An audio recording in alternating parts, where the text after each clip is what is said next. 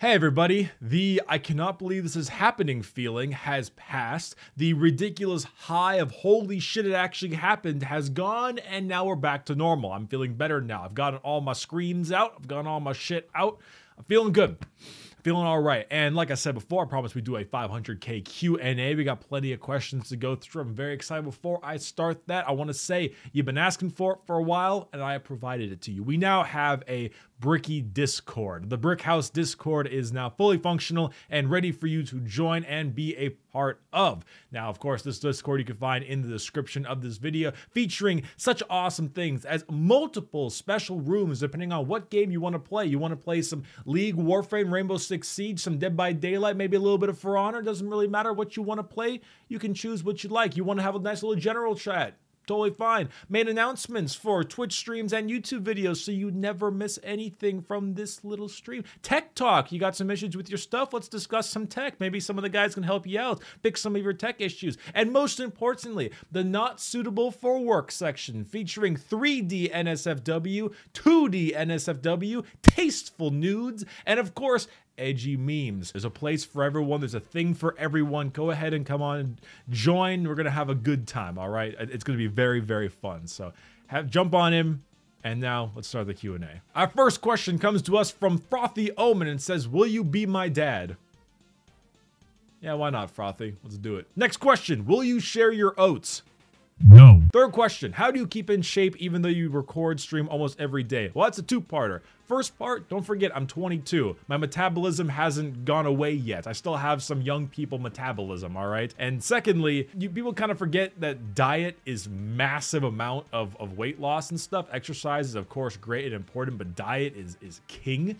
So, so long as you don't eat horribly and like shit for a while, you can go pretty far. Are there any hidden passives to being a Bricky subscriber? You could save 10% on Loot Crate. Then again, that's not really hidden. That's very obvious, but you know. Why did Becky bring me a turkey and Swiss? I asked for ham and cheese. Cause she's a dumb bitch. What do you think of that documentary Matt did on you? You know, if I'm being honest, the first thing I thought about when he suggested that we do Life of a Streamer on me, I was just surprised he wanted to do it serious. That was the one thing that surprised me the most. Like, of all the people to make it serious on, it chose me.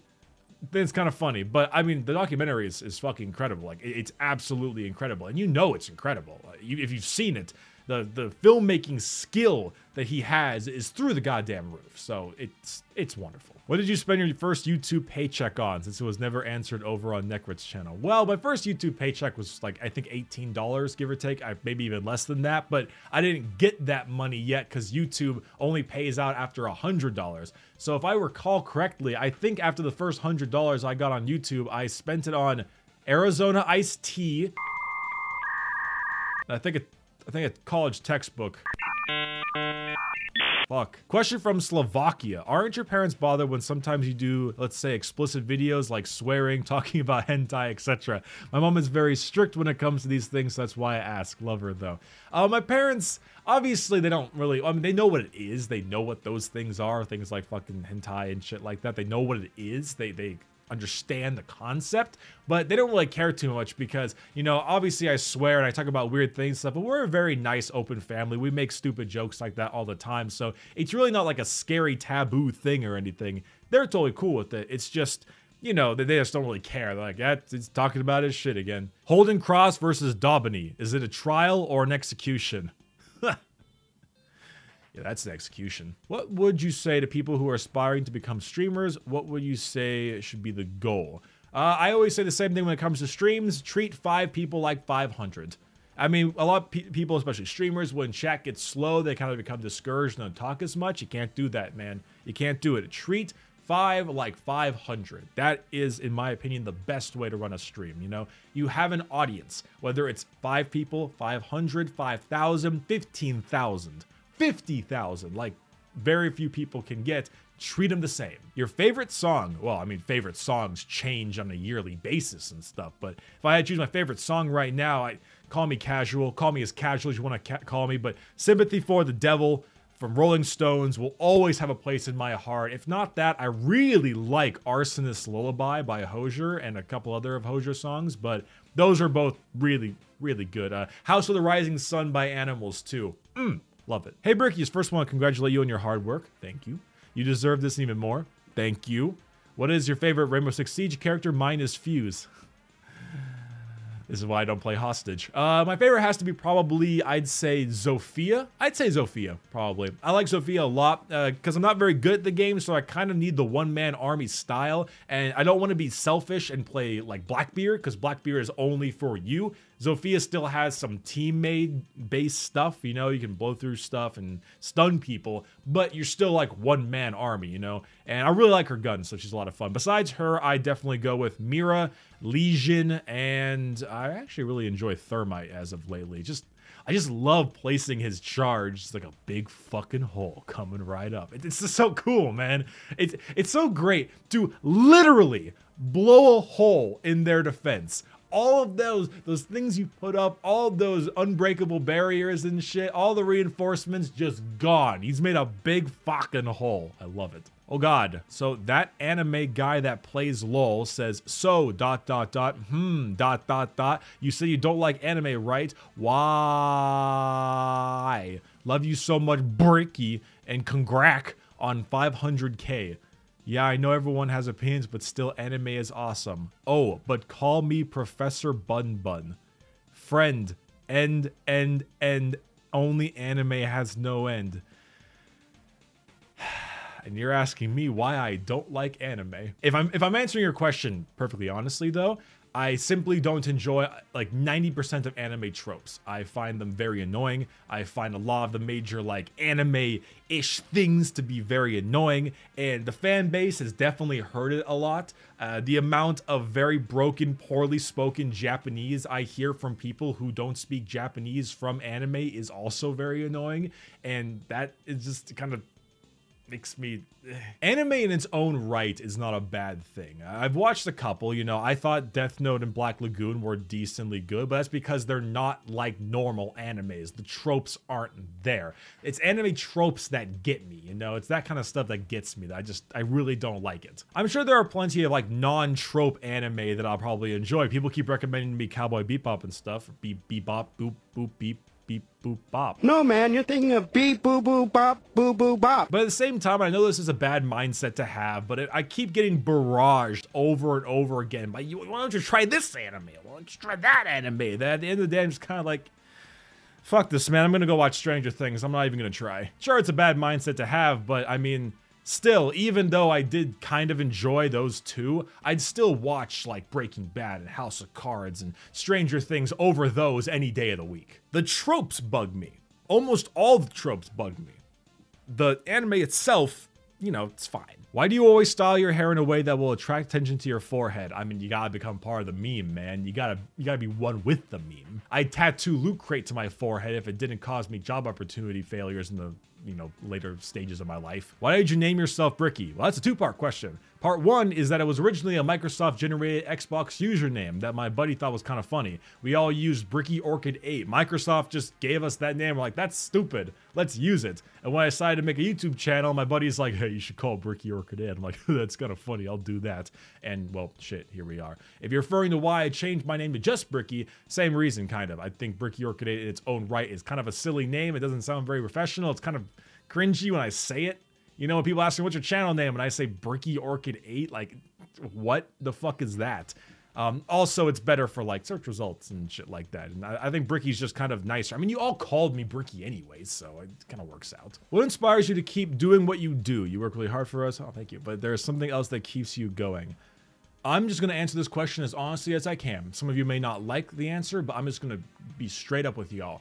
Success, envy, and the power comes with. Now, that sounds like the biggest megalomaniac thing you could possibly think of, but hear me out. Success is, of course, a big one. Nothing is more inspiring than watching subscriber numbers grow, than watching view counts grow, than watching, you know, Twitter followers, Instagram followers, everything just grow. And then, you know, of course, on the financial side of things, it just gets you so inspired and excited. The second part is envy. It's more of like an envy and revenge kind of thing. It sounds a little weird when you say it that way, but the envy has two parts. The first part is like the, oh, yo, fuck that guy, I can do what he does, but better, you know, kind of thing. And that's kind of a toxic mindset to sometimes have. But when you see some of the people at the way top of YouTube, uh, you know, sir, you know who I'm talking about when it comes to people, controversy, and all that shit. When you see them on the top, in my mind, I kind of get that feeling of like, I can be where you are, but I can do it without being an asshole. So it gives you a little bit of inspiration to get there.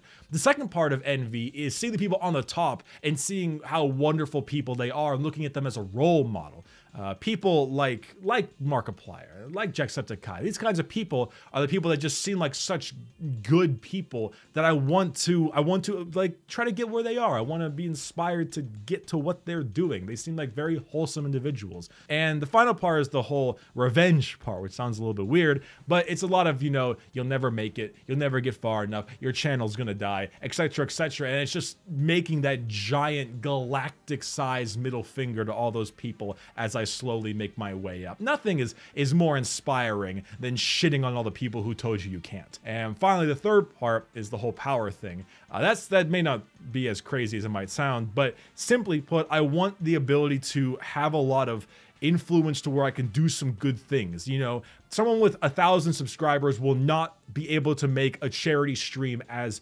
like profitable or uh, you know as raise as much money as someone with 10,000, someone with 100,000, someone with a million, you know? The bigger you are, the more good you can do. I want to be able to play a video game and then tweet the words, this video game is great, go buy it, and actually see sales figures change. That's a good feel. That's a great feel, you know? I want to say, this game is wonderful. You should buy it. And literally go to Steam charts and see a player count increase. That's not easy to do. And very few people can do that. But I really want to because there are some people in some games that really deserve it. So that's another part of it. Those are the three things that really get me going, you know. Those are the three things that really push me up. Success in my own right, a combination of envy and, and the revenge kind of thing, which is a very toxic mindset, but hey, you know, I, am just going to be truthful about it. And the final part of, of having the ability to influence and do like good things like that. That's that's the stuff that kind of is exciting. Long answer, I'm sorry for that, but yeah. Are there bigger things that you want to achieve for the channel, like some big projects in the future or like the DBD charity stream? What are they? And if you want, can you tell us? Yes, more vlogs. Absolutely more vlogs. I want to make the Monday vlog not a Monday sitting down vlog like this. I want it to be like a vlog of what I did throughout the week. The only problem is vlogs take a lot of time. I get nervous in public doing this. It feels weird and it's a lot of editing and, and work a lot of times. So I want to, but that might be in the future. There's the podcast. I want to get that done this month in March, uh, possibly. I'm hoping we got to cross your fingers on that one. And finally, uh, other big stuff. I'd like to do a couple more series and such, but I want I want better made content. I, there are a lot of people who are just simply better editors than I am. I am not a good editor and either I need more time or I need more skill. I'm going to try the skill part first. I'm going to try and see if I can really learn After Effects and learn Adobe Premiere and really, really get into some good quality editing and stuff. And if I can't, then I'll figure something out. I want, I want better YouTube videos. Definitely. My question is, what is your relationship with your fan base? Do you feel it's always good, sometimes bad times? I mean, most of the time it's pretty good. Most of the time we're just a giant echo chamber of memes and shit, you know? But I find the most interesting uh, discussions I have with my fan base either on Twitch or in my Fireside Bricky uh, episodes. Those seem to have the most interesting comment sections, the most interesting people. And it's very, very fun to have a conversation and go back and forth with them. I mean, I think we're both on the same wavelength pretty much, myself and the fan base, but there are things we disagree on. And it's good to have a conversation about it rather than ignoring them. Fuck me. I see an anime profile picture be gone. Estimate how many people have become Tahm Kench mains because of you. I would be curious. Honestly, I'd assume there'd be more Kled mains because of me if I if I gotta be honest. I feel like the amount of fun I have playing Kled highly outweighs the amount of fun I have playing Tahm Kench, but that's just me. Favorite Space Marine chapter. I mean, I mainly own Grey Knights, but they're part of the Ordo Malleus, so they're not really a Space Marine chapter. So if you actually meant like original vanilla Space Marine chapters, the Salamanders are the Iron Fists. Your video with Magikarp, it really outlines how hard you work, how much your time you put in. Do you ever wake up and just need a day to take a breath? Do you give yourself a vacation days? Um, I, I mentioned before that I kind of have a toxic mindset on this kind of stuff, but this is also one of those things. Uh, I don't, I don't really. I have a mental thing that if I am doing something for myself and not for work, I am failing and so that affects me a lot. Um, if I am resting or stuck in traffic or if I am relaxing or anything like that, my, the thoughts that go in my mind are you could be writing a script, you could be recording this episode, you could be streaming right now. And that is not a good thing to have. It is far from a good thing to have. I would highly suggest that those of you who get into this do not have that same mental thought. But that's what I think about, and I stick with it. So, no, not really. Why you such a bitch? Well, I mean, that, that's, I mean, I feel like that's just your opinion, man. Been watching your videos since freshman year of high school. Now I'm a senior, almost graduating. Your videos helped me along the way, especially the Origins Fireside video. I only have one question. What is your favorite zombies map? Or Origins. Yeah, Origins is my favorite zombie map. Uh, if not Origins, Mob of the Dead, uh, Gorod Krovi. I know it's not how you say it, but I don't know how to say it. Uh, I just like that one because it's fucking dragons, man. It's just like they, they one gave, just gave so few shits. It was so funny and uh, probably Der Riese, they're Der Riese, they're the, the giant. Yeah, that one, just classic. Kino der Toten's good too, but my only issue is the fucking crawler dudes. I hate those things. What about League have you grown to dislike over the years? Well, it's not actually over the years, it's more of as of recently. I think League has, has gotten better for quite some period of time. But at the current moment, it's not as good of a casual game as it used to be. Back in the day, here's the thing. You can describe League in one specific statement. One teammate cannot win you the game. One teammate can lose you the game. That's my big issue with League at the current moment. As much as you assume that a 9 and 1 Riven can carry the game, she really can't anymore. She used to, but she really can't anymore. But that 0 and 7 Lucian in the bot lane, he will lose you the game. Absolutely. And it feels like for 40 minutes plus, the amount of time that I'm spending playing the game just doesn't feel like a much of a payoff. It feels too stressful, you know? Wins feel stressful and random, and losses feel crushing. So it's just not as fun for just the me anymore, for a solo player. Playing with friends is still mostly fine, but for just the me, it's losing a little bit of its enjoyment. It could just be the meta. It could change in the future, but we'll see. Do you think sometimes that the Twitch chat and YouTube comments get out of hand with their memery and doesn't harm you as a content creator? Fuck no. Well, I mean, fuck yeah. A little bit of both. Yes, they get out of hand, but I don't care, so it's cool with me. What's the next major ship post video? I'm talking to Matt about that one. There was a certain thing he filmed when we were doing the life of a streamer, and I need that. Hey, Brocky, what's your favorite hard liquor to drink, pure or on some rocks? Uh, I'm a, like I said a million times, I'm a rum guy. I like rum in every sense. I like sipping rums a lot. Diplomatico is a wonderful one, as well as Zaya is pretty tasty, though I would probably mix Zaya more so. Besides those, I really do enjoy Hennessy's XO. It's extremely expensive, but if you can get some get some on occasion, drink a little bit on occasion, it's good shit. Do you know how I could save 10% on Loot Crate? Anyway, thank you all so much for being part of today's Q&A. If there's a question that you want to ask that I didn't mention or something that I may have missed, you can always go to twitch.tv slash bricky. There's always plenty of ways to get my attention on stream, even though chat does go by pretty quickly, and I can answer your questions there. So obviously I stream plenty, so that's pretty fun. With that being said, I know I don't have the mindsets a, a lot of other YouTubers might have, but I, I like to keep a little bit more of a tangible mindset when it comes to it. You know, I know that I work in uh, probably way too much that's probably entirely healthy. I understand that. But the success that I gain from it and the reasons why I stick around are important to me. While they may seem a little bit weird for other people, like I mentioned before, the jealousy, envy, power, all that kind of shit, even though using those specific words make it sound worse than it actually is, still, I like what I do. I appreciate that. And the amount of work I spend into it is something that I take a lot of pride in. Uh, my YouTube channel would not be here if it wasn't for the insane amount of work that I put in, and my YouTube channel would not be here if it wasn't for the insane amount, uh, insane amount of support that you give. We are a give and take, you know, myself and my fan base. I, I appreciate that. I'm not, I'm not going to say that, you know, the only reason I'm here is because of all of you guys and all of what you've done. I also know the only reason I'm here is because I actually put the effort into making the content, and I, and I want to take pride in that. It's something I preach a lot. It's, this is not, I don't have time to say this whole thing in this video, but something I preach a lot is individualism, you know? Take responsibility for your actions in both senses, you know? If something absolutely fails and crumbles and my YouTube channel dies, there's only one person at fault, and that's this guy. I need to accept that that's my fault. But if my YouTube channel blows up to a ridiculous degree, I'm going to give myself a lot of props for that. It's a give and take. It's a give and take, you know? You got to be able to, to accept responsibility for both the good and the bad. Have confidence in the good things that happen in your life and don't chalk it up to coincidence. And have, and you know, take the lessons learned from the shit things that happen in your life and accept your mistakes and failures and learn from those.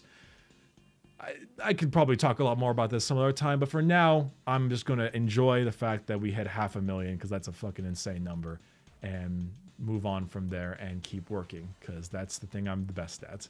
All right. Thank you for sticking around. It's always wonderful having you here. And I will see you in the next few videos. Bye bye.